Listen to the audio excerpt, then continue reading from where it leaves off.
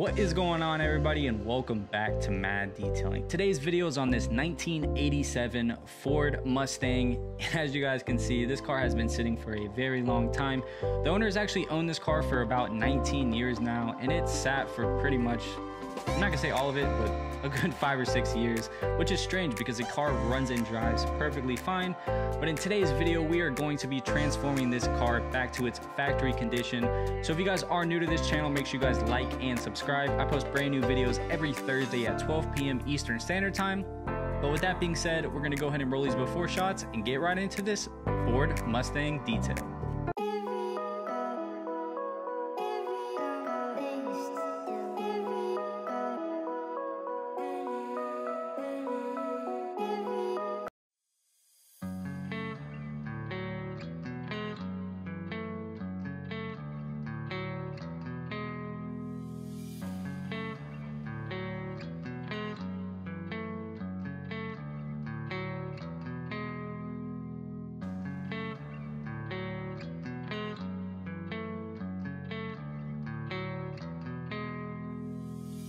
Moving on to cleaning the wheels, I'm using my Xtreme APC on the tires and fender wells, and for the wheels, I'm using my Mad Detailing Iron Eraser along with multiple different brushes so I can make sure I get every inch of this wheel and tire 100% clean.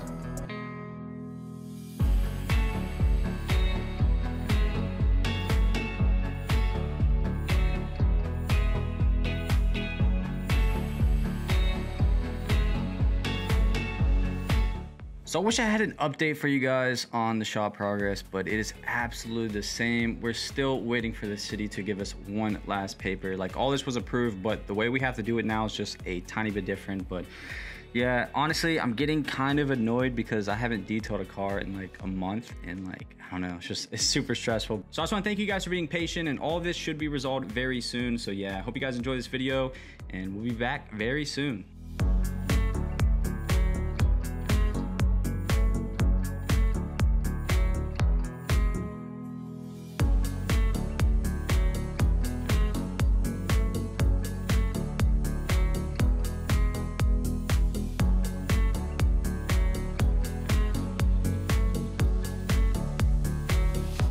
I can move on to any type of contact wash, I need to get all this dirt and grime removed. So for this, I'm using my Xtreme APC diluted 10 to 1. You could use an APC or you could use a some type of snow foam. I honestly just like using the APC. It works a lot better and it's a lot cheaper in my opinion. But yeah,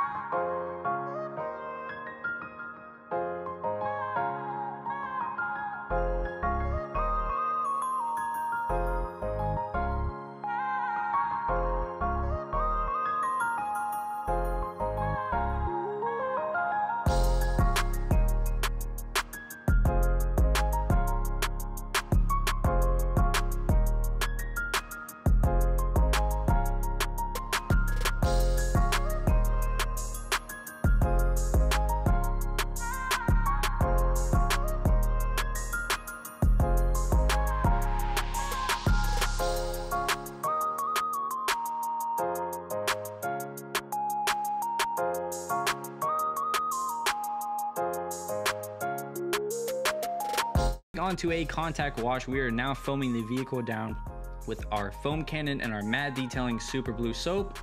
And then we are going to move on to giving this vehicle a nice hand wash with a soft microfiber wash mitt.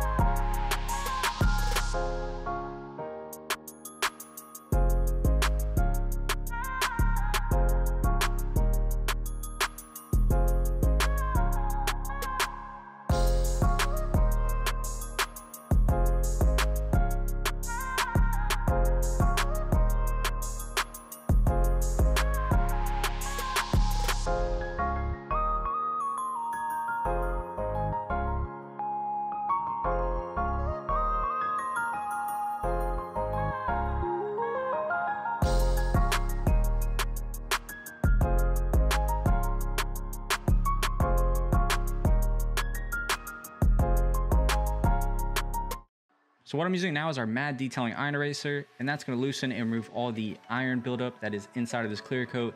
And as you guys will see in a second, there is a lot of it.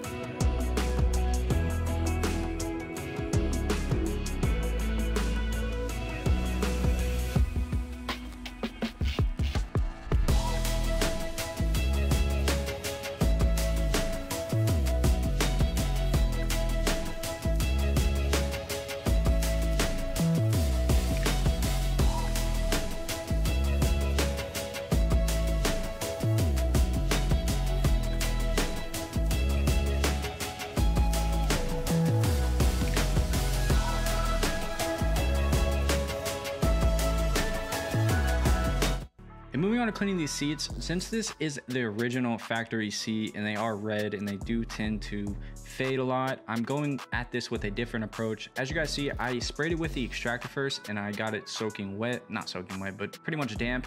And now for the cleaner, I'm using my Mad Detailing Leather Cleaner. And the reason for that, it's actually a multi-purpose cleaner that can be used on any types of surfaces and it is super delicate but super powerful at the same time. And the reason why I sprayed it with water first because I want to have as much lubrication on the seat as possible because if not when you're using the drill brush it creates a lot of heat and a lot of friction and I did not want it to tear up the seats. And also I'm using the white drill brush instead of the green one it's a lot softer. And for the extractor I'm using my Mytee HP60 hot water extractor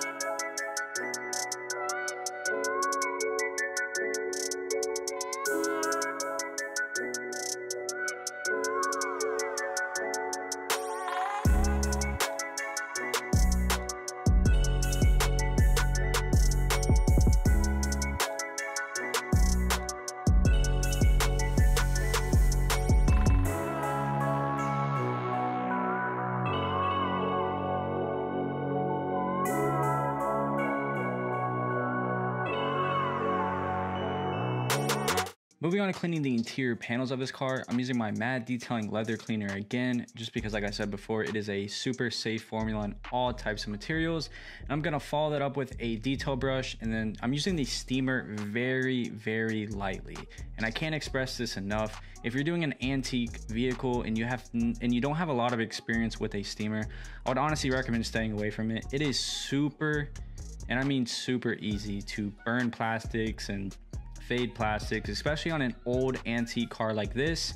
You really have to be careful. And honestly, that goes for, you know, anything with an antique car. Like you can't just approach it like any other vehicle and just go ham with the APC and all types of brushes and just smash panels around because everything is super fragile and it will crack and it will break and you will have to replace it. So yeah, anytime you guys are working on an antique car, whether it's your own or a customer vehicle or if you're a detailer, please, please, please be careful because stuff can happen and I would rather just you guys be careful and and to learn the right way and the right proper techniques instead of just going ham and having to call your insurance and say, hey, I messed up a customer's car. But either way, yeah, just be safe when you're working on antique vehicles.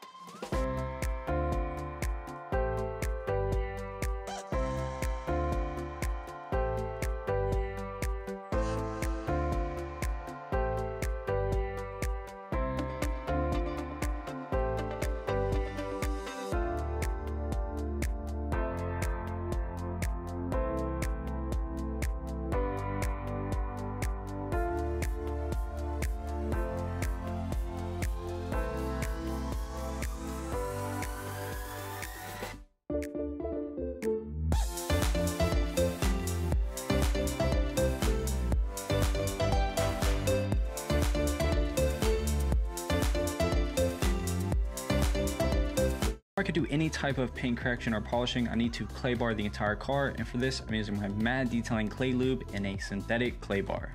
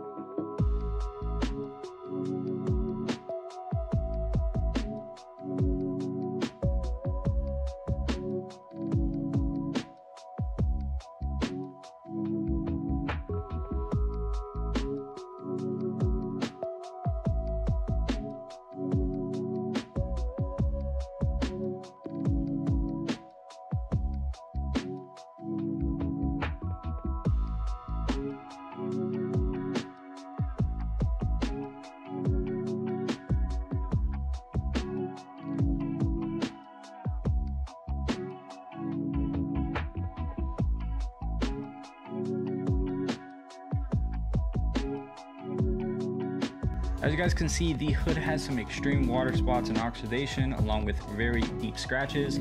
So moving on to the paint correction, I'm using my Rupes 21 polisher, a microfiber cutting pad, and Sonax Ultimate Cut. And as you guys will see, it gives some amazing results and one thing that I didn't film, but I always do, after every single pass, I blow my pad out with compressed air.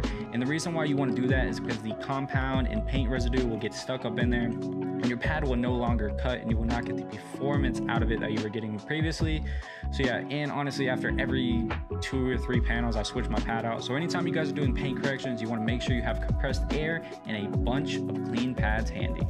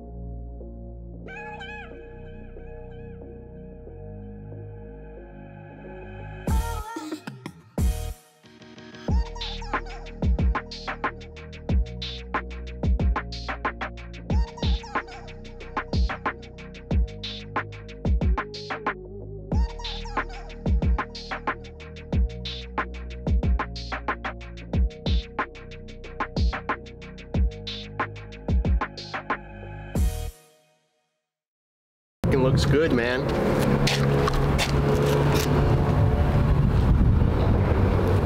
That original paint didn't shine like that when it was new. How long have you owned this car? I've had this car 19 years. 19? I bought it from the original owner. 41,000 miles.